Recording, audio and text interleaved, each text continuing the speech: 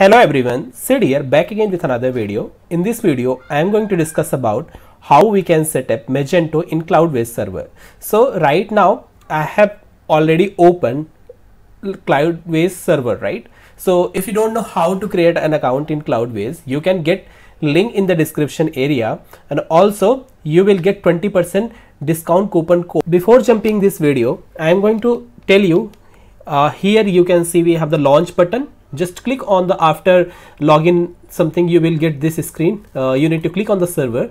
So here we have options which is uh, launch now. I'm just clicking in the launch launch now. And here you can see we had different kind of uh, cms and uh, frameworks so i don't need any other framework and cms so i i want this one which is the magento. And uh, this magento server you can see we can put particular of name like uh, so I won't put here right real. Uh, programmer we can put like it I don't want to real magento I want to put here like any name you can put depends on the project something right?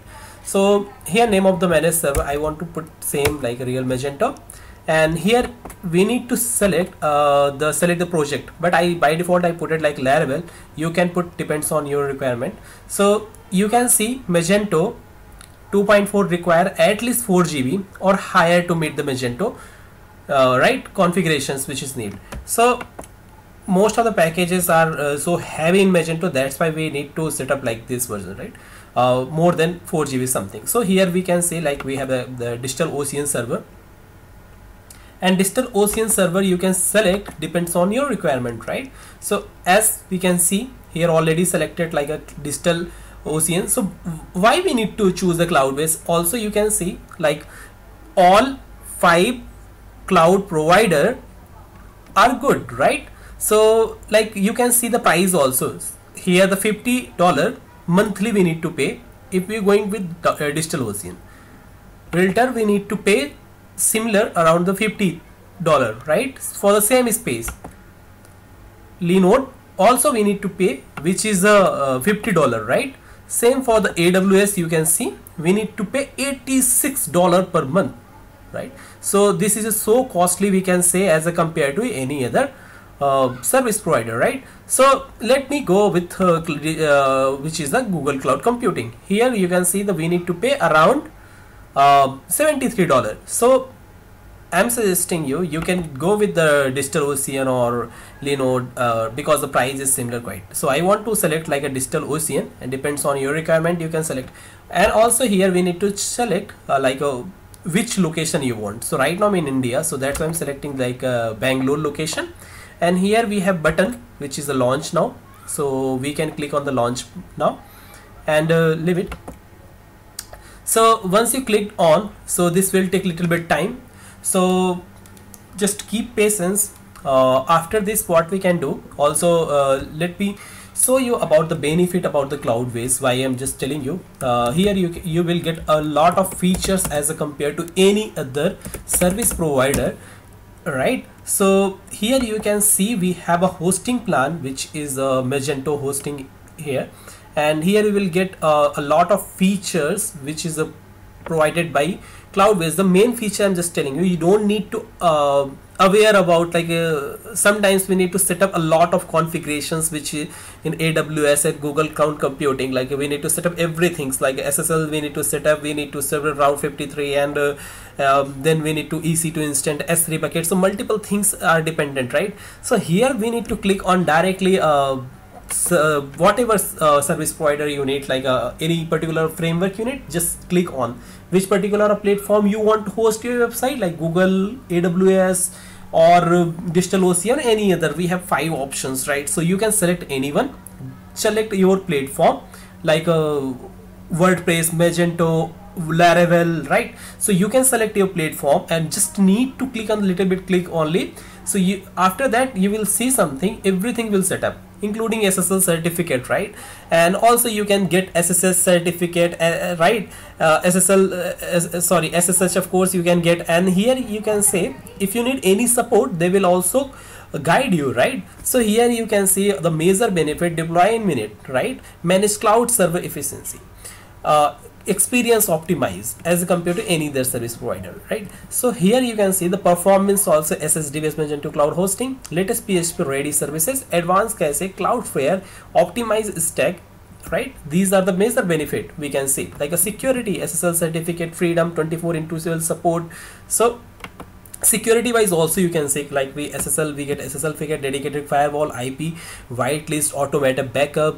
These are the major benefit as compared to any other service provider. Also we have option to host our website in good cloud computing provider in less price because we have the options.